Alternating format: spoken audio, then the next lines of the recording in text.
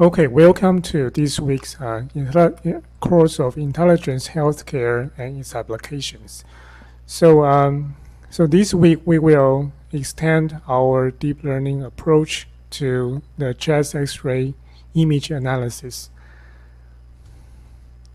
Okay, so let's uh, continue our scenario we introduced in, in the last week uh, uh, about the pathology. Remember that uh, in the last week's scenario, uh, we have a patient came to our clinic. Now, this is a 62 years old male patient, and his chief complaint was cough with bloody content. So you try to uh, ask uh, about his past history, but none was significant, and but only uh, history you found is that he had smoking two packs per, per day for 40 years. So you are, you are wondering that if this patient may have a lung disease that related to his chief complaint. So you are so you were ordering uh, a chest X-ray examination and the result shows that it's, uh, there's maybe a little bit uh, just faint mass lesion in the right lower border of the, the lung. So based on these chest images, you want to confirm if this is indeed a mass. So based on the CT images, then you indeed found a mass lesion uh, attached to the pleural wall.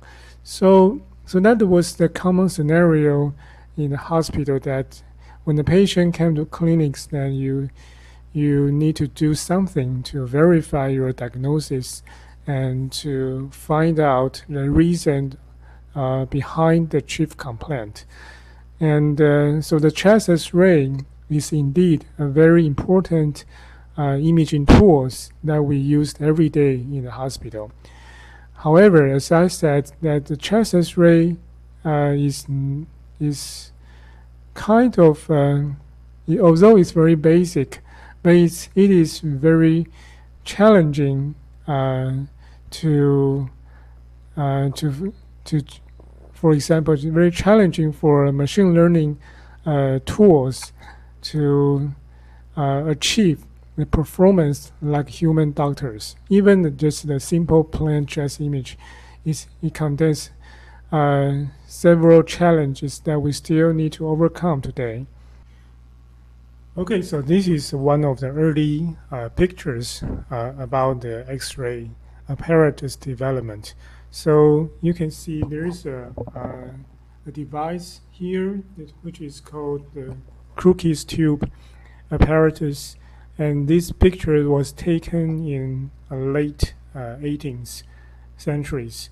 And uh, the Crookes tube is visible uh, in, this, in this area, and you can, uh, this tube is uh, designed to generate X-ray beams.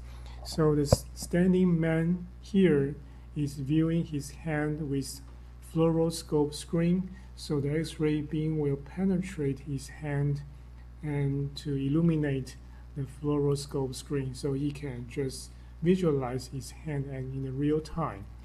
And in the meantime, the seated man is taking a radiograph of his hand by placing his hand on a photographic plate. So uh, at that time, the people uh, do not have any idea about the um, any risk about the radiation. So there's no precaution against radiation in these pictures, but uh, at that time, there, nobody knows a hazard or about the X-ray. But it is really a, a big breakthrough of in the medicine because using this uh, simple device, then the doctors can uh, obtain the information inside our body without cutting into our body. And I want to talk about more about the, uh, the Crookes tube. So uh, the Crookes tube uh, is kind of the vacuum uh, tubes and it only has a small amount of air uh, remained inside the tube. And when you apply the high voltage uh, to the tube, and it will generate a strong electric fields that can accelerate the small number of uh, charged ions and free electrons in the gas and create a natural process of photo uh, ionization and radioactivity. So when the voltage is high enough, it will uh, emit uh, X-ray beams uh, from these two. So that is the one of the early experiment by the physics physicists then uh, to uh, discover the X-ray beams. So in the older time, uh, in the hospital, when we uh, when the patient underwent the X-ray examination, then usually the machine is just like a, a, a camera. So the, the, camera in the old times, there was a, a film, a photosensitive film, in inside the, the camera. So and there's also a, a X-ray radiation device that can uh, emit the X-ray beams uh, through the patient's body, and it will just uh, uh have some uh, shows the images on the photo plate. So um, in the older times, we need to um, transfer or cop copy that images from the photo plate uh, to a, a, film. Then we need to read these films on the uh, light background box. So that is the old way uh, we read the uh, X-ray images. So this can be done by like uh, uh, X-ray images, skull images, any part from of our bone or our abdomen or any the other uh, applications. But with the computer, then we can digitize these things. So basically, we just transform the the X-ray camera to the digital X-ray camera. So we now we just need a digital uh, photo plate that can capture the uh, X-ray information from the, its emitters. So with the computerization, then we can visualize the X-ray images on the computer screen without need to uh, to make a, a, film. So that is a, a huge breakthrough because uh, it is in in radiology. In, it is one of the medical fields that adapts the computers and applies the uh, latest technology in the information to improve our medical practice. So, so this is uh, one of the common things in the hospital that how patient uh, took the X-ray examinations. So here you can see there is a X-ray uh, emitting device. So in this, from these uh, things, you can emit X-ray beams uh, to from here to here, and so the patient need to stand here, uh, be in front of the uh, photo plate. Then, then this is like a digital camera. Then you can capture the information of the X-ray beams penetrating through the human body, and to store in a, a digital device. So uh, you might want you might be wondering that why patients need to stand in these positions but not in the front position. One of the reasons is that usually in the standing positions, it is the better uh, position that we to prevent the the other part of the uh, human body to receive the extra radiations. So when you are going to take chest X-ray images, uh, usually we will use take like uh, adopt these standing positions, and the X-ray beams will uh, be will be going from the back to the front. Uh, so this is we call the PA view, which is posterior anterior view of the ch- of X- chest X-ray images. So of course, uh, the technician need to tell patients to adopt the right positions, and the patients also need to cooperate with technician to uh, make a, a, full inhalation to make sure that your lung is expanded during the respiration and need to hold your breath. So make sure your lung is expanded at the time when the picture was taken. So uh, once the technician uh, set up the patient's and X-ray device, then he will go behind these walls and to operate the device. So you can see that in the modern hospitals, uh, we need to take a very careful precaution about the radiation because the radiation is a hazard and uh, so you, you can see that this not only these walls are protected by the the heavy uh, lead uh, uh, metals, but also the the entire room was is also protected by the lead uh, metals.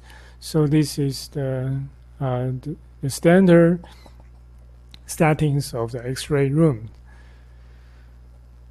Oh, so the principles of the X-ray images that X-ray when X-ray penetrates through uh, uh, certain things, it has a differential absorption of the X-ray uh, energies. So uh, the penetration of the X-ray beam is dependent on the tissue densities. On the right side, you can see a figure shows that uh, the effect of the absorption of X-ray when it's penetrating to the different types of the uh, tissues. So uh, the denser object here represent the less beam striking on the film, which means it has more absor absorption of the X-ray. So the result of the denser object uh, on the film is the whiter images. And in the contrast, uh, when in the case of the less dense object, uh, then which means that you will uh, allows more X-ray beams striking on the film, so uh, the resulting images will be uh, more black. So this whiter and black just means that the the degree of the absorption uh, by the underlying the tissue uh, characteristics. So, for example, in this case, the air is is very uh, loosely uh, distributed in in this space. So, in this case, X-ray will almost uh, penetrate through this space without any obstructions. So the resulting images will be the, the most bl uh, black. And for the fat, it also allows uh, the more X-ray beams than the other tissues. So it will shows uh, faint gray colors, and the waters will absorb more X-ray beams, so it will be the more uh, a gray, a darker gray. And but the the bone will absorb lots of the X-ray beams, so it becomes the white colors. Okay, so the metal itself will uh, absorb almost all X-ray beams. So if you have a metal, uh, for example, if you wear a ring on your hand and you just take pictures of your hand by X-ray device, then you will see a, a very bright uh, the images of the ring on X-ray images. So this is uh, one of the glass test tube to tell you uh, the differential degree of absorption by the different tissue type. Another um, key points when you look at X-rays, the orientations. So in the medical fields that we, when we read X-ray images, the first thing we need to do is to check the orientation of the images. And uh, um, uh, usually we have a, a, an very interesting habit in the medical field that we read images from uh, just just like the patient is in front of you. So when you look at these images, just imagine this patient is standing at in front of you. So so that's so now you can see he's the uh, face to face uh, with this person, and uh, so you can see that for these images, the right side is actually in the left side of these images and the left side is on the right side of these images. And that's because you just imagine your the patient is standing in front of you, and you will be just just get an idea how we look into these chest X-ray images. So the so always remember that in a medical convention, we just use left as right and right as left. And so the first thing you need to make sure which one is the left. Uh, so there are several uh, key points that you need to find out in X-ray images. The first thing is that for most X-ray devices, you will try to mark left and right on the film. And even in the digital images, they will also implement uh, information of left and right on the film for you. So the easiest way is try to look at the left and right mark. But however, if there's no this kind of mark, you need to look at the um, the heart and the aorta. So here you can see uh, the white shadows in the central region of the body, and this contains the hilus, and which contains the, the several important vessels, including the aorta and the pulmonary uh, veins and the aorta and and, and also the veins from the lower part of the body. And most importantly, and our heart is located here and is toward our, our to our left side. So for most uh, people, our heart apex is is oriented toward our left side. So we can look at the heart to make sure the direction of your uh, orient chest ray X-ray orientations. But just remember, there are rare cases of the uh, the inverse inversions of the uh, these heart orientations.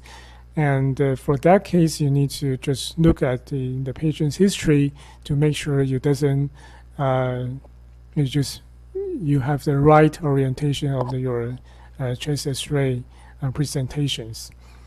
Okay, so the second key point is to look at the aortic notch, uh, which is usually point to the left side of the X-rays. So if you look at this one, so this is left side and this is the right side. And also you look at uh, the apex of the heart, and it, in most cases you will be on the left side of our lung, toward on the left side of the uh, our field and also the gastric bubbles. So the, the, the final key point here is that our stomach is located in our left side of the abdomen. So usually the stomach will contain airs. So in this case, you will see the floating airs in the stomach. And so when you see the stomach is here, then you can make sure, okay, this is mostly, in most case, this is on the left side here. Okay, so this is how we uh, to read the orientation of the X-ray images. And uh, as I shown in the previous slides, that uh, in the most uh, cases, the patient will stand in front of the, the films and X-ray source will uh, emit the X-ray from the posterior to the anterior. And so in this case, then you see that uh, there's a one of the effect that uh, uh, of these different uh, orientation is that if the X-ray comes from the posterior to the anterior, then usually we'll have a, a normal uh, size of the heart. But if the patient is lying on the on the bed and you have two uh, to take the X-ray from the anterior to the posterior orientations, then you have uh, like a, a, magnification magnification effect of this uh, X-ray source because when X-ray source, the, the, closer object to the X-ray source will be um, magnified on the film because of the physical locations uh, between the X-ray source and the object. So this is one of the consideration you need to keep in mind and when reading the chest X-ray images. But in although the interpretation of the chest X-ray images is uh, very challenging, and you really need uh, kind of the professional course to learn how to read X-ray images. But for today's uh, the core the lectures, my purpose is to just show you how to read images in a very simple way and just and how to understand what is the uh, important landmark you can see in X-ray images. For example, in the X-ray images, chest X-ray images, the most important thing we need to uh, look at is the lung. So here is the, we just uh, marked the border of the right lung and the border of the left lung. So, so because the X-ray images is the two-dimensional uh, images, you really need to reconstruct the three-dimensional anatomical structures uh, based on these two-dimensional uh, images. So, for example, in this case, actually, uh, the the uh, the heart is actually in front of the left lung, but you need to uh, try to picture yourself that this left lung has this kind of the border just behind the heart, and this is very important because if there was a pneumonia occurred in this region, then it is not only it is very hard to find find uh, these uh, pneumonia findings, but also actually there was some medical science that help you to find out to to justify if there was pneumonia behind this region just when this pneumonia just overlap with the heart regions so, so that is tricky part because I, I think that there was no machine learning tool that can learn every condition, every uh, conditions of the medical uh, problems. But uh, so you, so that's why in uh, I want to show you some basic interpretation of chest X-ray images so you can have uh, uh, kind of the insights into the difficulties of developing machine learning in the medical images. So this is just tell you what is uh, the location of the right and left lung. And another uh, significant landmarks you can see on the X-ray images is the bone. So here you can see the clavicle.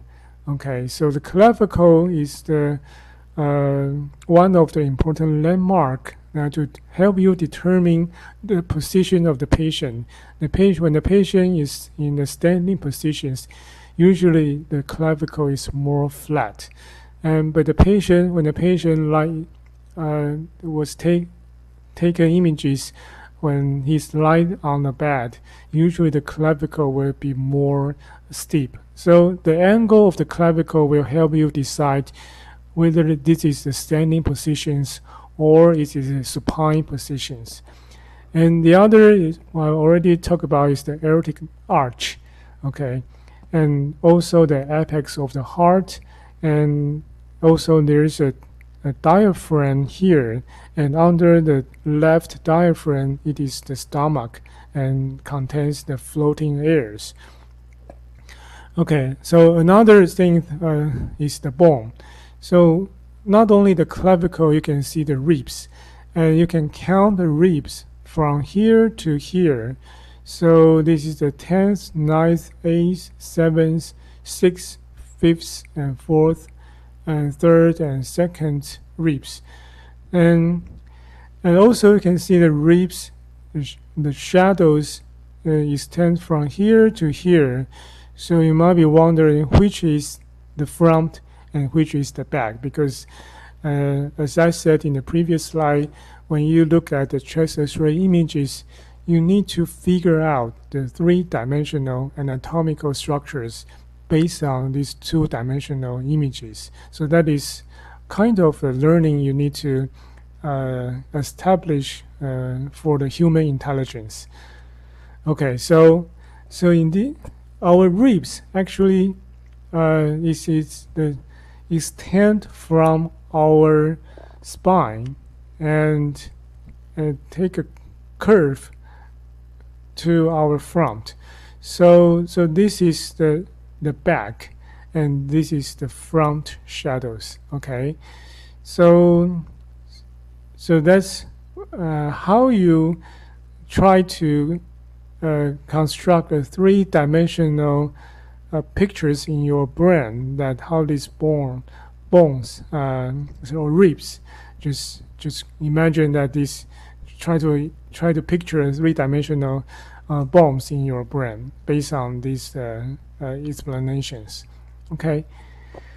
So uh, so uh, aside from the bones, then probably another important aspect of X-ray readings is the um, the the vessels and heart. So this is the borders of the heart and the great vessels. So the most prominent the landmark here is the aortic arch and also the heart apex. So, um, so I just want to show you the uh, one of the, the common readings. The first thing you need to uh, justify the size of the heart. So why is that important? Because um, if you have the heart failure, imagine that, for example, our heart is like a pump, right? So the, the heart try to pump the blood um, through our body, and if the pumps uh, doesn't work, then but the the blood still flows into the pump and goes out of the the pump, which is the heart. So in that case, when the when the heart is not capable of the pumping sufficient uh, amount of the blood out of the heart, then then lots of the blood will uh, just remains inside the, the heart chambers, then will increase uh, gradually increase the size of the chambers because it's just being the congested inside the heart. So in the case of the con so-called congestive heart failure, the heart size will be increased. So how to uh, justify the heart size here? Then we will first we need to find the midline here and to calculate the distance between the right border of the heart to the midline as well as the left border, which is the apex of the heart to the midline. Then we uh, sum up the distance of A and B and divide it by the width of the, our chest, which is the C. And so, we, so in this way, we can calculate the cardiothoracic ratio, and usually will be under 0.5. Then, if you found that this ratio is high, then uh, definitely, or in most cases, you you will find a, a finding we call the cardiomegaly, which means that the heart is enlarged uh, in this case. Okay, so uh, again, when you look at the heart shadows, you also need to uh, reconstruct yourself in the brain the anatomical orientation of the heart. So our heart has contains four chambers and also connected to uh, several important vessels. Uh, for example, here uh, it contains the superior vena cava, which is the vein transport the blood from the upper part of our body and also connect to the aortic aorta, which is the, the main outlet of our heart, and also the pulmonary aorta, which is the uh, outlet of the right ventricles uh, to our lung. So, so when you look at these shadows, you need to picture yourself that okay, this is a right ventricle because our heart is is not in the direct uh, face. Uh, just I mean that the heart is not positioned in in the uh, direct way in our bodies. It's just deviate toward our left side and, and, and lower side. So, so actually, it is right ventricle is in front of our uh, the human the chest walls, and the left ventricle is in the posterior side, and uh, uh, likewise the uh, left atrium and the right atrium is on the right side. So you need to picture yourself the three-dimensional uh, structures in, based on these 2D images. So this is maybe more clear than the previous slides. That is just attach the uh, uh, anatomical uh, diagram on the real X-ray images. So you can see here this is right ventricle and here is the left ventricle, right atrium, and left atrium. So the prominent aortic arch is, is the uh, representation of the aorta, and also the left pulmonary arteries uh, is here, and also the pulmonary vessels is here.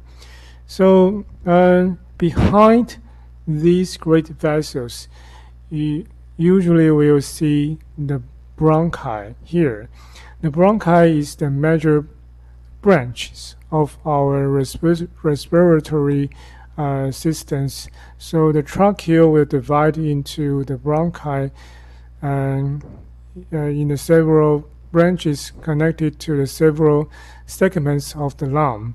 So in the X-ray images, usually we'll see kind of the um, the white shadows here, it is not abnormal. It is actually the normal representations of the bronchi and related vessels. Okay, so uh, I'm not able to just uh, illustrate every aspect of abnormal findings in the X-ray you will see, but I want to show you some common findings that uh, you will so you can have some flavor or some insights how these X-ray images can help doctors to uh, to diagnose a certain disease. For example, here the fluid accumulations. So imagine that our um, our chest wall or chest cavity uh, has two major organs. One is the lung, the other uh, is within, uh, I should say that out, outside of the chest cavities is the mediastinum and uh, which contains the heart and other uh, vessels and other important organs. But uh, although the heart itself is contains lots of the blood, so it will show the whiter images on X-ray. But usually in the lung, there should be only airs and only some vessels uh, goes through from uh, each uh, different segment of the lung. But there should be no fluid accumulate in the lung in the normal conditions. So when there is a fluid fluid accumulate in the lung, you well, and also if the patient is in a standing positions, then you will see there is a fluid level accumulate in these costal phrenic angles here. And in another case, if there's an abscess in the lung, uh, which means that in, if there is a, a, cavity inside the lung that caused by uh, the bacterial infections and uh, that space was uh, destroyed by the bacteria and caused the accumulation of the fluid, then you will see uh, there is a fluid uh, just uh, inside the lung field, uh, which is uh, showing the fluid level here. So when you see the fluid level in the lung field, that definitely represent abnormal conditions. So this is one of the example shows the blunting of the costal phrenic angles here. So our lung, uh, let's go back to the previous slide here. So our lungs has a very clear borders in the costal phrenic angles, which is the pleural walls and uh, and the junction of the diaphragm here. So it is very clear uh, angles here. But when there is a uh, fluid accumulations, you will see a whiter uh, images, uh, shadows here around these costal phrenic angles uh, means that there is a pleural effusions. Okay, so you can also see this in the lateral view of our chest uh, walls, uh, but usually we, you can see this in the in the PA view. Okay, another uh, emergent uh, condition is the free air. So you might be wondering, okay, for the chest X-ray images, uh, the air is, of course, we will see air in the lung, but what if if you see the air in the other part of the body? So in that case, uh, that would represent a abnormal condition, which we call the pneumoperitoneum. Um, so Remember that our stomach is in the left side under the left diaphragm. And usually there was uh, air in the stomach, so it is normal to see the floating air in the stomach regions. However, in some cases, if you have uh, like a gastric ulcer or maybe even a gastric cancer, and but anyway, if it, your gastric wall has the hole uh, just caused by any gastric conditions, then air will leak into uh, the abdominal space.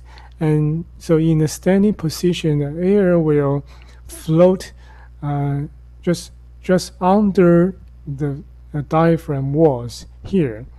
So it's usually in our, our abdomen, there's no air in our abdominal abdomen space right? So in that case, you will see the the abnormal free air just floating under the diaphragms, and that is the pneumoperitoneum. So pneumo means the airs, and peritoneum means the uh, the walls of the abdomen. So this is one of the the free air you can see the, the pneumoperitoneum see on the chest X-ray. So, so you can see there is a a border of the diaphragm here, but under this border there should be a white shadows, just like you see in the previous uh, uh, normal chest X-ray images. There is just a, um, a kind of the a white shadow. So here is the liver and here is the stomach because there's a free air in the stomach, so you can see there is a uh, air space here, but there should be no air seen in this part of the, our body. So when you see this kind of images, this is definitely not normal, and so this is the, one of the case of the peri pneumoperitoneum. Okay, so so uh, another common diagnosis of the chest X-ray is pneumonia. So pneumonia is uh, a conditions that lung has in, uh, the inflammations. So inflammation is a process that our body try to fight against uh, any uh, insulting uh, uh, substance or bacteria or virus. So uh, the inflammation will cause the increased the blood flows and also increased effusion of the fluid into the tissues. So in the case of the pneumonia, because it is represent the inflammations, then you will see the whiter uh, uh, of the lungs because the, this part of lung has infections and has contains more fluid than the other part of the lung, so it becomes whiter than the other parts of the lung. So these white patches represent inflammations and infiltrations. So that's that's how we diagnose pneumonia. So pneumonia is the result of inflammations, but so it can uh, so this this inflammation can result from many kind of the medical conditions. For example, uh, from the bacteria, from the virus, like a coronavirus, COVID-19, or from other uh, etiologies. Um, so when you see the pneumonia, it doesn't mean that you have a certain uh, origins of the infections, and you need to find out why you have a pneumonia at this time. So, for example, in the older people, when uh, the common case of pneumonia is the uh, so-called aspiration pneumonia, because the, the the older people might not be able to uh, to swallow the food uh, in a norm uh, in a very uh, healthy way. So some of the food may just uh, goes into our trachea and cause the inflammations and infections. So uh, so there are many causes of pneumonia, but when you see the pneumonia, usually we'll see the white patches, the opacities on, on in the lung field. Okay, so that's so that's why the X-ray images, uh, uh, the more probably the most popular approach is to diagnose pneumonia, especially in this uh, time period because COVID-19 uh, will cause the severe pneumonia. Then when we see a pneumonia, then we need to uh, try to uh, find out the reason. And the COVID-19 is one of the important uh, pathogen to cause pneumonia at this time. However, the pneumonia is only one of the abnormal findings uh, in the chest X-ray images, and there are other findings, uh, common findings, including the atelectasis. Uh, for example, the there's a, a part of lung just collapse into the, uh, the just the solid space, then there's no function here. So you will see the uh, the opacity in around these regions, and of course, the cardiomegaly in the congestive heart failure is also a common condition. Uh, you can see in the chest X-ray and also the effusions. So you will see, just like I said, you will have the accumulation of fluid, and because of, of the gravity, it will accumulate in these uh, lower angles, which called the costal phrenic angles of the lung field, and and this this common location we see the effusions, and also for the infu- case of infiltration, means that when there's a um, uh, for some cases uh, the fluid might uh, just accum- just leak into uh, outside of the cell bodies into the tissues, then you will see the in increased waters in these lung tissues, and you, so it becomes whiter. It's very similar to the pneumonia, but so it, it's like a transition. When the infection is severe and the inflammation is very high, then you will see the pneumonias. But in the initial phase, you will see the infiltrations. And also, you, you will see if there is a lung cancer in uh, happened, you will see a mass shadows uh, around uh, in the lung field. And also in the nodules, for example, the tuberculosis bacterial infections will form nodules and fibrosis tissues around this tuberculosis infection site. So uh, you see uh, also the white patch here. And this case of pneumonia, it is especially difficult to diagnose in this case because, uh, as I said, in the right lung field is, is almost you can see the entire border of the left lung, but the right uh, left left lung is uh, overlapped with the, your the left heart. So, so when the pneumonia occurred in these regions, it's especially difficult to diagnose. You need to see, uh, you need to identify the abnormal uh, uh, textures in the these uh, uh, heart borders and shadows to make a diagnosis of pneumonia in these regions. And also the case of the pneumothorax, which is uh, in this case, uh, there's uh,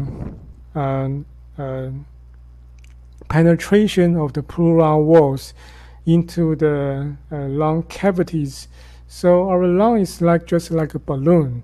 If just if you penetrate your balloon, just just explode in just quickly. So, so likewise, if if uh, have a, just a penetration in in one of the lung field lung, then you will just uh, collapse and you makes a, a result in a rapid expand, expansion of the lung in the other side and make and deviate the tracheal. So the pneumothorax is the emergent conditions and it need to be identified in the real time and very quickly that you need to save the patient's life. So, so, so you now you you see the eight common chest X-ray findings here. So you can see that although is it may be a, a typical to see some abnormality in each case. However, imagine that in the real hospital uh, cases, you will see lots of lots of different findings. Then that's why it is, it is very challenging to learn how to interpret a chest X-ray, and so and also it is why uh, it's very important to develop a machine learning algorithms to identify these different um, chest rate of normal findings. So for example here, how do you differentiate the mass from nodules? And also how do you differentiate the infiltration from the pneumonia? And how do you identify the effusion, cardiomegaly, and atelectasis, and also the pneumothorax? So, so so that's why it's very challenging. You cannot use the rule-based algorithms to do these kind of the things. You, you, but even for the deep learning, it's still very difficult to do because for the deep learning, it's not it, it's not like just try to differentiate cat and dog. It is, it is you need to, uh, in the in some case, you need to combine several uh, know-how to make a diagnosis. So that is uh, the challenging part of the chest X-ray uh, task. Okay, so for example here, uh, this is the one of the result I cite from the paper here. Then it shows that even in these eight common diagnoses, there are a significant overlap between diagnoses. For example, in the case of the infiltration, it has a high overlap with the effusion and atelectasis and the other conditions. And also, like for example, the mass will also cause the infiltrations and also the pneumonias. Okay. So for, for example, the, in the case of the mass, uh, only less than 50% of the case has only the mass findings.